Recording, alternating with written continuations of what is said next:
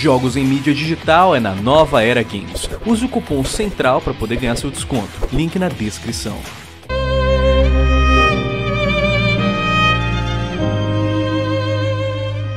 Recentemente tivemos mais um trailer de Final Fantasy VII durante a PlayStation State of Play. O trailer está incrível, o game parece tá ótimo e depois de tantos anos na expectativa desse jogo que foi anunciado lá em 2015, a gente conseguiu mais algumas informações. Para você que não sabe, Final Fantasy VII, desde o seu anúncio, já tinha dito que ia ser dividido em episódios, que nem um Life Strange ou o último Hitman que a gente teve. A questão é que isso leva a um debate né? Não da qualidade do jogo, não se ele vai ser bom ou ruim, mas esta maneira que essas empresas estão trazendo alguns jogos pra gente, dividido em capítulos, dividido em episódios. Isso nos leva à questão: isso é uma coisa boa ou ruim? Galera, quem fala com vocês é o Lina Central e hoje eu e o White a gente gostaria de debater com vocês esse tema, esse tópico sobre a questão de jogos divididos em episódios e se isso é uma coisa boa ou ruim para nós consumidores. Então, White, é, é, um assunto até meio que polêmico, né? E acho que vale a pena a gente analisar tanto o lado dos desenvolvedores quanto o nosso, pra gente, né, uh, debater, né, e ter uma opinião sobre o assunto, né, cara? Sim, é, eu acho que a gente pode começar pegando aqui o Final Fantasy VII, que tá um hype gigantesco, e depois a gente pode expandir para os outros jogos de é, como que foi o resultado deles após o lançamento por episódios, né? Uhum. Pra saber se teve um feedback bom ou se teve um feedback ruim. Pensando no Final Fantasy VII, eles falaram, né, os desenvolvedores, que o jogo vai ser episódico, que vai ser dividido em episódios, porém serão jogos completos. Então vamos pegar aqui e teorizar, digamos que eles estejam é, falando 100% de verdade pra gente, que vai ser um... Cada episódio vai ser um jogo grande, um jogo completaço, tá ligado? Uh, a gente até pode dar um crédito ali pro, pro desenvolvedor. Mas mesmo assim, na minha opinião, o jogo por episódio fica meio complicado por milhões de motivos que a gente vai citar aqui durante o vídeo, sabe? Uhum. Então, assim, pode ser também a questão de será que eles estão sem tempo para lançar o jogo e eles querem lançar logo o primeiro episódio e estão dando miguezão porque, tipo, o hype tá tão grande em volta de Final Fantasy VII que eles estão pressionados já, entendeu? Tipo, desde 2015 já mostraram o jogo, agora mostraram o gameplay, ficaram um tempão sem mostrar nada do jogo, e a galera cobrando, cobrando, todo E3, a Square ia lá e cobravam a Square, cadê o Final Fantasy VII, cadê o Final Fantasy VII? Os caras já devem estar tá loucos, eles querem lançar logo, porque eles sabem que vão ganhar muito dinheiro com esse jogo. Uhum. Isso aqui é um jogo que mexe com a nostalgia da galera, entendeu? Então eles estão assim, ó, tão, eles, eles, eles querem lucrar com o jogo, mas eles também não querem decepcionar os fãs que estão esperando um tempão já, entendeu? Sim. Só que não dá para negar que é meio estranho, né? Deixa aquele sentimento esquisito de você ter o jogo que uh, poderia vir completaço no seu lançamento, mas agora está sendo dividido em diversos episódios. Claro que o remake uh, tem a proposta de se diferenciar do original, pelo fato de, por exemplo, ele não vai ter mais aquele combate em turnos, agora ele vai ser um jogo focado em ação que nem rolou com Final Fantasy XV. Mas essa proposta de dividir em episódios acaba se diferenciando pelo fato de às vezes você não ir lá e ter a jornada completa na primeira vez que você for jogar. A Square Enix, que está é, sendo responsável por Final Fantasy, não é novata nessa questão de games divididos em episódio. Uh, ela é responsável pela franquia Life is Strange, como vocês sabem, sempre foi dividida em episódios.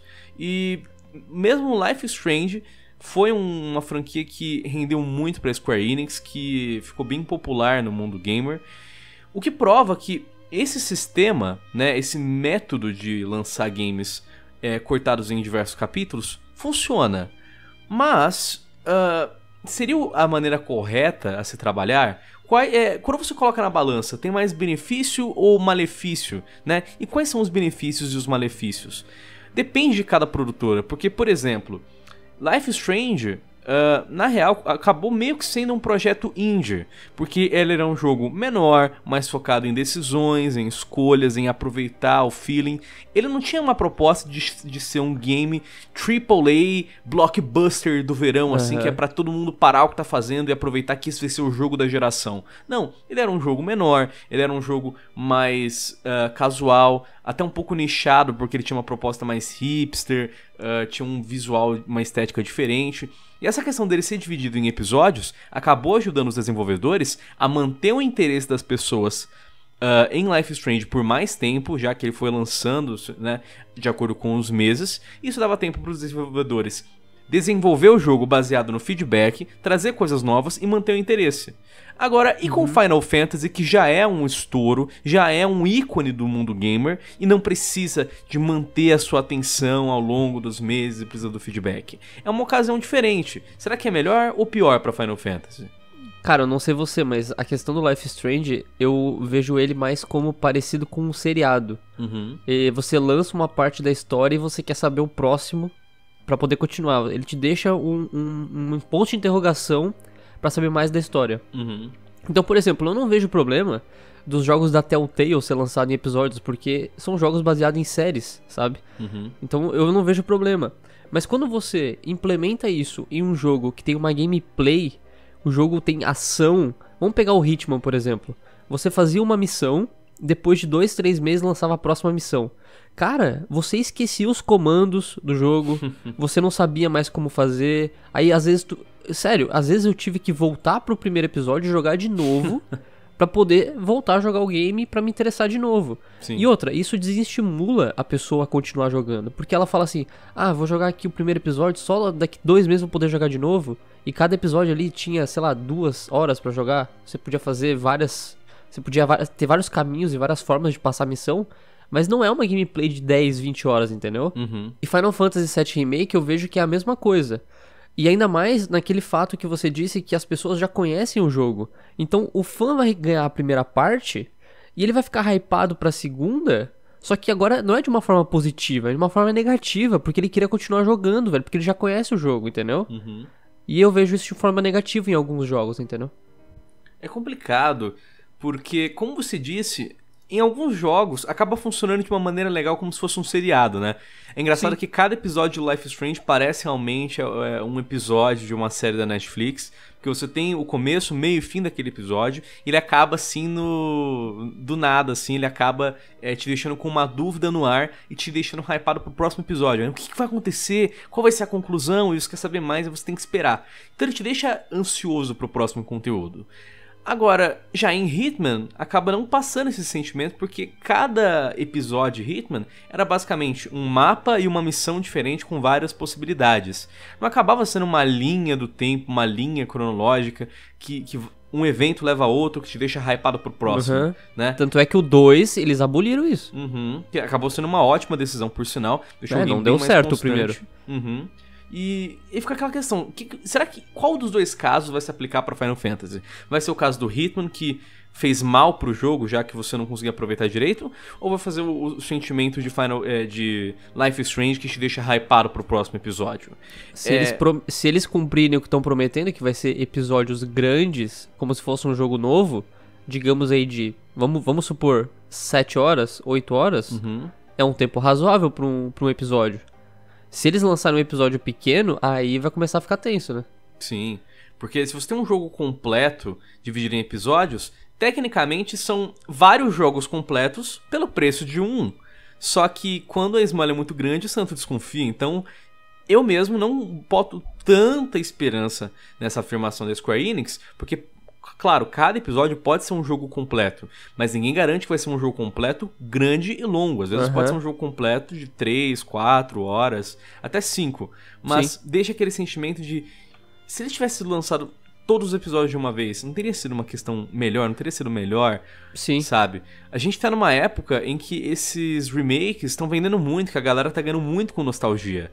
Resident Evil 2 Remake foi um dos melhores games do ano até agora. E ele tava completaço, ele não precisou de DLC algumas, DLCs foram uma cereja no bolo. Mas e com Final Fantasy? É uma proposta diferente, eu tô curioso para ver o que vai acontecer, mas não dá para negar que atualmente a gente tem o que? Uma incógnita, a gente tem uma incerteza, e essa incerteza leva a gente a ter um certo medo, né, cara? Porque a gente quer que o game seja fantástico, a gente tá esperando muito desse game. Então quando a gente fica nessa dúvida, dá medo, né, cara? Não tem como Sim. negar. Eu, eu, eu não tenho dúvidas que o jogo vai ser bom. Porque nostal... quando afeta a nostalgia, a galera não quer saber. É bom e ponto.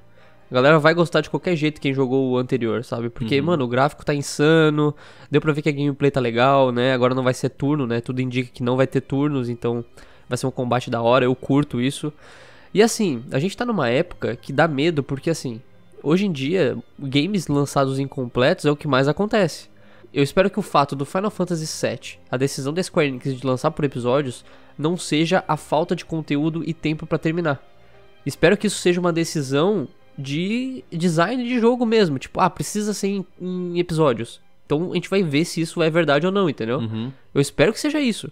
Porque se for a questão de não temos conteúdo, vamos ter que dividir aqui para dar tempo de produzir, sabe? E para poder lançar o jogo e ganhar grana, aí a gente vai ter um problema. E esse é um, e é um problema gigante, né? Porque o jogo já tá anunciado há mais de 4 anos. Se eles não tiveram tempo para produzir tudo, meu Deus, né? É, por causa do tempo que já foi anunciado o game, já é de se esperar que o game já tá completaço. Essa questão de dividir Sim. ele em episódios deve ter alguma outra proposta em mente, porque E- tempo de, de, de produção não tecnicamente seria um problema, né? Então, o que seria o problema para eles, né? Fica uma incógnita ainda no E ar. tem histórico. Vamos pegar o Final Fantasy XV, Hum, que o jogo, uma das maiores críticas dele era que o game era mais incompleto em questão de história. Eles poderiam ter desenvolvido muito melhor os personagens. E o que, que eles fizeram? O jogo foi lançado picotado, cheio de DLCs. E as DLCs eram de histórias de cada personagem. Tipo, história do, do Prompto, história do Ignis. Mano, pra que isso, velho? Por que não tava no jogo? Por que vocês não fizeram uma história completa pra vender DLC? Entendeu? Então eles já têm esse histórico com o Final Fantasy e eu tenho medo, velho. Sinceramente. Até porque a gente quer ver que o, o game tenha né, a sua melhor forma possível. A gente quer ver o game bem. A gente quer que o game seja incrível. Então, essa dúvida acaba assolando a gente, mas é, a gente espera sempre o melhor. Portanto, eu acredito que, como eu falei, eu acho que cada caso é um caso. Eu acho que games baseados em episódios podem ser muito bons ou muito ruins. A gente tem exemplo do Life Strange e do Hitman. Resta saber é, qual dos dois exemplos Final Fantasy vai levar pra si. Se vai ser uma coisa boa ou se vai ser uma coisa ruim. Até a gente ter mais detalhes, o que dá pra gente fazer agora é esperar e ficar na hype, que nem todo mundo tá na hype pra Final Fantasy VII, e esperar que ah, essa divisão em episódios seja uma coisa que vai ajudar, que seja benéfica ao longo termo uh, para a história, para a franquia.